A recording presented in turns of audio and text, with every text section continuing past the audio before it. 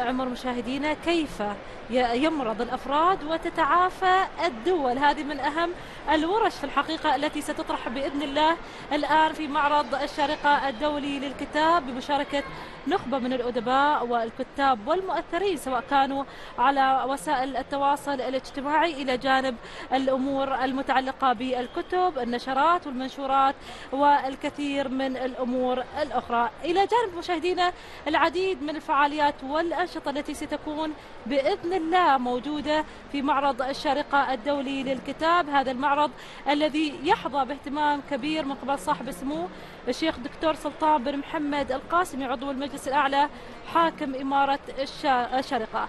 بحيث تتلاقح فيه الأفكار وأيضا تتقابل العقول هنالك العديد من الأقسام والأنشطة المتواجدة وهذه أكيد دعوة منا بزيارة هذا المعرض والاستمتاع بأجمل اللقطات فيه. إذا مشاهدينا الزميل محمد النقبي راح يغطي لنا فقرة مميزة من هذه الفعالية. كيف يمرض الأفراد وتتعافى الدول؟ برعاية دائرة التنمية الاقتصادية وبحضور الدكتور عبد الله الدرمكي والدكتور محمد الحميري والدكتور عمرو صالح. إذا مشاهدينا نشوف هذه الفعالية ولا لا عودة؟ حياته الطبيعية ويمارس أيضا كما يقول إبداعه وتمييزه. ولن يصل إلى هذا الهدف إلا إذا كان مشبع داخليا بالاتساق مع خلينا نقول نظرية ماسلو أو أيضا الحياة المعيشية. أيضا اليوم يتحدثوا عنها الناس. هي يعني تتسق مع نظرية ماسلو في الاحتياجات المختلفة المستويات وبالتالي لما الإنسان يتشبع من هذه المستويات الاربعه أو الثلاث مثل ما جاء في هذه النظرية يبدا حقيقة في ابداعه في هذه الدار، فنظره سموه حقيقة على قول النظرة هي بعيده المدى ونحن يعني ولله الحمد والمنة حريصين بهذا الإنسان الذي يعني يمارس شغفه في الرقي في هذا الإنسان وتحقيق رؤيته وهي طبعا تحقيق الرفاه للإنسان. و تتوالى حقيقة الأمثلة والمبادرات تلو المبادرات في دولة الإمارات من دعم قيادتنا الرشيدة وأيضا من مؤسسة الاتحاد أبونا الشيخ زايد الله غفر له ويرحمه اللي كان يعني ملهم لنا في طريقته وفي نموذجه في الاهتمام بالإنسان والمبادرات المختلفة التي توالت على دولة الإمارات. يعني دكتور طبعا تحدث الدكتور عبد الله عن جودة الحياة بشكل عام والتنمية والتطوير فحدثنا دكتور محمد الحميري عن دور آه، إذا مستمرين معكم مشاهدينا الكرام في تغطيتنا الحصرية والمباشرة من معرض الشارقة الدولي للكتاب وأيضا حرصا بالالتقاء بضيوفنا الأكارم من الكتاب والأدباء والمثقفين. وهذه النخبة الجميلة التي نستفيد منها بشتى الطرق وحتى من الإصدارات التي طرحت في المعرض لهذا العام وفي نسخة المعرض في هذا العام. إذا مشاهدينا الكرام في هذه اللحظات نستضيف الكاتب دلي علي الصغير وهو أحد الكتاب المشاركين معنا في معرض الشارقة في هذا العام. نرحب فيك ونصبحك بالخير. صباح النور حياك الله طال عمرك. يا مرحبا. حياك الله أستاذ دلي. ما شاء الله متواجدين في العرس الثقافي في إمارة الشارقة بالتحديد معرض الشارقة الدولي للكتاب. نتحدث عن أهمية هذا المعرض لدعم الكتاب المبدعين من مختلف دول العالم. طيب أول شيء السلام عليكم. يعطيكم العافية جميعا ومشكورين على اللقاء. آه لا شك إن أي معرض يقام في الشرق الأوسط هو يعتبر دعم مو بس للكاتب لدار النشر بشكل عام. فما بالك بالكاتب؟ فما بالكم إذا تكلمنا على معرض الشارجة اللي يعتبر من أكبر و... وأفخم المعارض في الشرق الأوسط وفي منطقة الخليج. يعني معرض الشارجة يعتبر أصبح الآن قبلة يمكن لكتاب العرب وكتاب الخليج عندنا طبعا. بالذات. فلذلك هو معرض أيضا جدا جدا مهم يعني. طبعا. إذا كنا نتحدث آه، قبل الهواء بأن نحن آه، ما شاء الله دائما ما تعودنا بأن دولة الكويت ولادة بالمثقفين الكتاب الأدباء واللي يظهرون أمانة في كل اصدار وفي كل عام لمعرض الشارقة الدولي للكتاب فما هو السر؟ ما هي الخلطة؟ هو مو بس دولة الكويت أعتقد كل الدول العربيه ويمكن بشكل خاص دول الخليج وأنتم تتميزوا. يمكن بشكل أخص الكويت. أنا أعتقد يمكن آه، التجربة اللي عاشتها الكويت في 1990 أعطت الكتاب آه، وحي الخيال. يعني أعتقد إنها أخرجت الطاقات عند الجيل اللي عاش الأزمة هذه. فلذلك تشوف الكتاب الكويتيين دائما يحبون يكتبون في مجال الرواية. ليش؟ لأن عندهم الخيال واسع. طبعا. وأعتقد إنهم ناجحين في مجال الرواية. صحيح طبعاً. وهذا ما لمسناه في هذا المعرض. نتحدث عن إصداراتك أستاذ دلي. شخص في عقلي لا أعرفه. اي هذا الاصدار يعني أنا عندي تقريبا ثمان إصدارات هي ما شاء لكن الله. هذا الإصدار هو أكثر كتاب محبب إلى قلبي نفس لما يسالون واحد. منو تحب أكثر واحد من عيالك؟ بقول لهم. على طول شخص في عقلي لا أعرفه. آه، أحس إن هذا الكتاب يلامس آه، وجداني يلامس فلسفتي يلامس آه، شخصيتي من داخل فأتكلم فيه شخص في عقلي لا أعرفه. أيضا عندي كتاب ثاني نوعا ما يلامس شخصيتي اللي هو صوت لا يقوى على الكلام نتكلم إن إحنا دائما نشوف أفكار ناجحة في العالم. نقول أخ هذه كانت فكرتي أنا شلون هو سبقني الفكرة؟ هو صحيح. ما سبقك هو سمع صوت الفكرة وأنت لم تسمع صوت الفكرة. فالفكرة هي باللغة العربية كلمة مؤنثة. أنا أخرجت الفكرة من عقلي وتخيلتها عبارة عن أنثى وبديت أتحاور معاها سلام. بشكل فلسفي وفكري علشان. أفهمها. أنا لما أقعد أتحاور معاك وأتحاور معاك راح نفهم بعض. لكن إذا كل واحد قاعد ساكت وما حد يتكلم ما حد راح يفهم الثاني. فبديت أتحاور مع الفكرة بشكل فلسفي إلى أن وصلت إلى أني أنا أفهم الفكرة شلون تشتغل. نعم. يقول لك الدراسات تقول أن عقل الإنسان في اليوم الواحد ما لا يقل عن 30 ألف فكرة تجول في خاطرة. الله. فهي تتودد لي وتقول لي أن أنا 30 مره 30 ألف مرة أمرك في اليوم وين توديني؟ نعم. وهل عجبتني الفلسفه الصراحة وطريقة التفكير صحيح يعني حتى أنا ممكن إجابتك تقودني إلى سؤال يعني هل هذه تحتاج إلى دراسة فلسفة؟ يعني أستاذ هو أنا دلي أحب أقرأ في كتب الفلسفة بس ما تحتاج إلى دراسة فلسفة. يعني أنا تخصصي محاسبة أصلا بس لو رجع فيني الوقت شوية ورا يمكن أدرس فلسفة وعلم نفس يا نعم. سلام طيب إذا عدنا إلى آه، كتابك أحد آه، أحب الكتب لديك مثل ما ذكرت من هو الشخص المجهول هو آه كلنا عندنا أشخاص مو شخص واحد في طبعاً. عقلنا ساعات هذا الشخص يا يوديك الخير يا يوديك الشر طبعا فالمفهوم أو المطلوب مني إن أنا أعرف شلون أتعامل مع الشخص هذا اتحاور معه على أساس يمسك بيدي يوديني إلى طريق الخير صح ولا مو صح؟ فهذا الشخص اللي في عقلي ما أقدر أقول له واحد هو أشخاص كثيرة. يا سلام. ساعات ساعات يكون كاتب ساعات يكون آه، متابع الرياضه ساعات يكون آه، مع أصدقائي.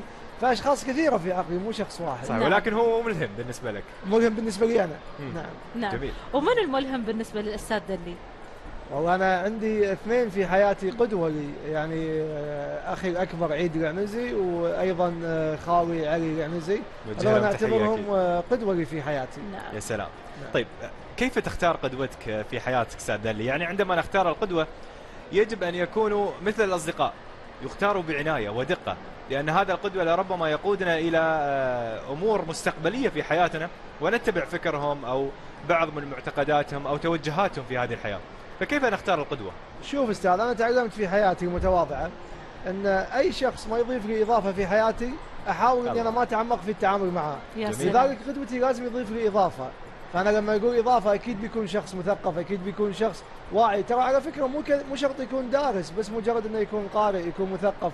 فهذول الشخصين في حياتي هم يعني أنا أشوفهم قمة في المعلومات لذلك. أنا أقتبس من معلوماتهم معلومة من. ذهب في الحقيقة يعني أستاذ دلي نتحدث عن الأصدار الآخر اللي هو الزهايمر اي أوكي نعم. آه الزهايمر رواية آه علشان أكتبها قريت كتابين طبيين في مجال مرض الزهايمر لأن لازم أتغمص الدور بالشكل الصحيح فمن كثر ما عشت الحالة حسيت اني وأنا أكتب الزهايمر قاعد أنسى أشياء كثيرة. من يوم هنا قاعد أستعمل النوت أسجل يا ملاحظات سلام. فلذلك هي رواية أنا في جميع في جميع أعمالي الروائية أطرح مشاكل موجودة في المجتمع أو بعض الأمور الموجودة اللي تخفي عن الغالب. فلذلك في الزهايمر الناس كثيرة تعتقد إن مرض الزهايمر هو مجرد إنه ينسى هو موضوع أكبر صحيح. من هذا. صحيح. فلذلك سلطت عليه الضوء في مجال آه، الزهايمر في رواية آه، الزهايمر. جدار بيني وبين العالم سميتها. ممتاز. لماذا الزهايمر بشكل خاص؟ آه، عايشت حالات مروا في مرض الزهايمر فحبيت أكتب عن المرض وشفته مرض الآن بدأ ينتشر بكثرة صراحة. ممتاز. نعم. طيب آه، عندما نتحدث عن تخصصات التي توجه في كتابتك وطرح إصدارات تع- تعنى بهذا المجال بالذات اليوم لربما الناس اختلفت أذواقها والكثير من؟ الناس ال- الناس اختلفت أذواقها في في القراءة وشغفهم في الكتب وحب العناوين دائما. فمن شأن العناوين أن تجذب القارئ. هو وأنت ما شاء الله عليك تميزت هو بالعناوين القراءة بستان وأنت طبعاً. مطلوب منك تختار الزهرة اللي تناسبك يا صحيح. فإذا كنت أنا أحب أكتب في رواية غيري ما يحب يقرأ في الرواية نعم. غيري يكتب بالفكر بالفلسفة غيري يكتب في تطوير الذات. بستان بالنهاية أنت كل مجهود منك إنك تاخذ الزهرة اللي تحبها. ولما ولماذا العناوين الغريبة يعني بالذات؟ يعني في هنالك أيضا أصدار مهاجرون لقوارب الموت. آه، هو فن تسويق الكتاب يعتمد على أشياء كثيرة. قد تكون المادة داخل الكتاب مادة جميلة لكن إذا كان الغلاف مو جميل وكان العنوان مو. ملفت وما ما يترك انطباع ما يترك انطباع عند القارئ شنو يقصد ويصير في تحدي بين القارئ وبين الكتاب؟ ممكن أن الكتاب ما ينجح في التسويق وقد يكون الكتاب رائع فهي. كلها جوانب تسويقية جميل طيب أستاذ علي بجانب أنك كاتب مبدع أنت شخص تقدم دورات لتدريب الكتاب نعم. وتهيئتهم لطرح كتب ولربما يكون مولود أول لهذا الكاتب في بداية الطريق. نتحدث عن أهم مقومات هذا الكاتب إذا كان يريد أن يتوجه إلى عالم الكتابة وأن يكون أحد المؤثرين في هذا الجانب. صحيح. إحنا عندنا في دار النشر قرطاس عندنا دورة اسمها كيف تكتب كتابك الأول. الدورة هذه عملناها يمكن أكثر من 30 مرة. أنت لما تتكلم في لغة الأرقام ما في أوضح وأجمل وأقوى من لغة الأرقام. لما تتكلم إلى 50 إلى 60 كتاب كانوا من مخرجات الدورة فأنت قاعد تتكلم على نجاح نجاح جميل مو سهل. طبعا. أهم مقومات الكاتب إنه يمتلك إذا كان في مجال الرواية انه يمتلك الحبكة الروائية يمتلك القصة ويمتلك القلم الرشيق. يا سلام. باقي. الأمور يقدر يطور من نفسه في القراءة. نعم. جميل وما الذي ينقص الكاتب العربي اليوم أستاذ دلي؟ والله ما أشوف الكاتب العربي ينقص شيء، الكاتب العربي مبدع في جميع المجالات، وين المجال اللي تبينه؟ في مجال التنمية الذاتية، في مجال الرواية، في مجال الفلسفة، لابد في كل دولة عربية راح تحصلين كاتب مبدع في المجال هذا. جميل. طيب هل تتفق ب لربما مقولة أجمع عليها البعض من المثقفين والأدباء والمفكرين في جانب الكتابة؟ يقال إذا كنت تريد أن تكون كاتب فعليك أن تكون قارئ. طبعا طبعا. يعني كمثال أنا دائما أقول مثال هذا في الدورة. مستحيل لاعبين الكرة اللي نشوفهم نجوم. مجرد هو نجم على الملعب لازم في شيء. يسويه قبله. في عنده تمارين في عنده برنامج غذائي يتبعه نفس الشيء الكاتب الكاتب اللي تشوفه نجم لا تعتقد انه ولد بالصدفة هو قبل لا يكون كاتب ناجح صدقني هو كان قارئ يا ناجح. سلام. يا سلام. في الأخير الكاتب والناشر المبدع في الحقيقة الأستاذ دلي علي الصغير كل الشكر لك وشكرا على تواجدك اليوم ويانا في برنامج صباح الشرقية وكل التوفيق لك بإذن الله. يعطيكم العافية تشرفنا فيكم جميعا. شكرا. شكرا. ما شكرا قصرت. إذا مشاهدينا ما زلنا مستمرين أيضا في هذه الحلقة الاستثنائية وننتقل الآن للزميل محمد النقبي ليطلعنا على كل ما هو جديد في هذا الحدث الاستثنائي. محمد لك الكلمة. شكرا زملائي في الاستديو وعودة مجددا لكم مشاهدينا الكرام من أروقة معرض الشارقة الدولي للكتاب. وفي الحقيقة حاليا متواجد عند دار مميز للخط العربي ومن هنا يسعدني أن أرحب حسين أحمد مدير دار السري آرت للخط العربي. أستاذ حسين حياك الله ويانا. حياكم الله وبياكم نورتونا وشرفتونا. ما شاء الله شو هذا الدار المميز اليوم. تسلم الله يحفظكم من ذوقكم وطيبكم ما يقدم الدار لديكم اليوم؟ آه لدينا إصدارات الخط العربي. كنت في مرحلة أحتاج من يدرسني هذه الأمور. جات فترة قمت أساعد من كان مثلي يحتاج هذه الأشياء. تعبت جدا في البحث على من يدرسني الخط العربي. الآن أنا في دور من علمني ووفر هذه الأشياء لأهلها. لدينا طبعا إصدارات الخط العربي من البداية من تعليم الصفر لتحسين الكتابة اليومية للمدارس والكبار والصغار وأيضا بالقلم العريض للهواة والفنانين. كراسات متعددة بعضها بخطي وبعضها من عبق التاريخ القديم المناهج الصعبة اللي درستها في تركيا وفي الكويت. بسطتها بطريقة سهلة جدا ممكن أعطيكم نظره عنها. وأيضا خطوط خطاطين مميزين مثلا خطاطي كسوة الكعبه المشرفه الاستاذ مختار عالم الاستاذ عثمان طه خطاط مصحف المدينة. ناخذ من هذا الخطوط الجميلة لديهم ونبسطها للجمهور بطريقة سهلة مميزه بالألوان بالتصاميم جميل. ما يميز الدار عن الدور الأخرى؟ طبعا كل دار آه، لا شك لها ميزاتها ولها يعني آه، إيجابياتها. لا أعرف إيجابيات الدور الأخرى ولكن بالنسبة لنا يعني آه، نهتم بمهارات سكيلز ليس فقط قرائية ليس فقط حفظ مثلا أو مادة أو روائية أو قصصية.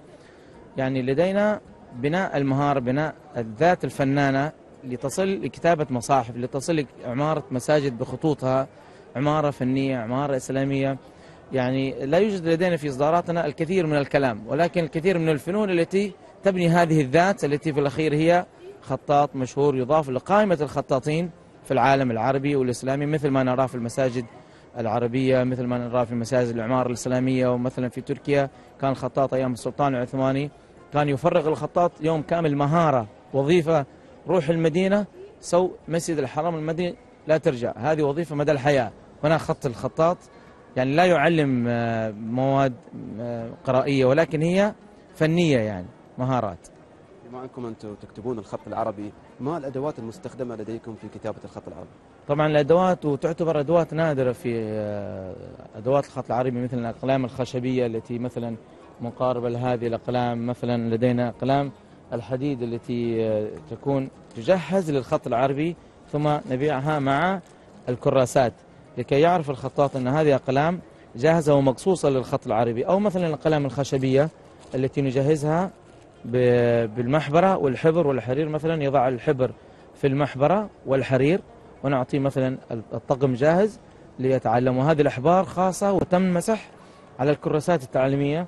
مثلا لما يكتب على الكراسة ثم يغلط ممكن يمسح هذه الأشياء على الأوراق اللماعة. ليكون عنده الأمل أنه يكتب ويتدرب فترة طويلة حتى يضمن أنه يستفيد ويعمل مثل هذه اللوحات. وشتى الأدوات طبعا ولكن الإصدارات تختلف محبيها بين الديواني والرقعة والنسخ. فكل خطاط ياخذ قسمه ونصيبه من أدواته وقسمه من من الكراسات اللي هو يرغب فيها يعني. الحقيقة ودي أني أطيل الحديث وياك لكن لضيق الوقت. كلمة أخيرة توجهها للمشاهدين. لا تقف في رغبة ترى أنها ممكن تصل إلى احتراف. الكثير يحجز بينه وبين نفسه في بداياته يرى مثل أعلى يقول أنا مستحيل أوصل هذا الجزئية من من الإتقان. فالرغبة هي دلالة الموهبة. شيء طبيعي لما تكون مبتدئ لما تنظر لواحد في نهاياته صعب إنك تجد نفسك أنت توصل لنفس هذا المكان. لا, لا يمكن تصدق. يعني الفقير مثلا بدأت أدرس الخط في 2007 2009 جبت الأول في الكويت ما كنت أعرف.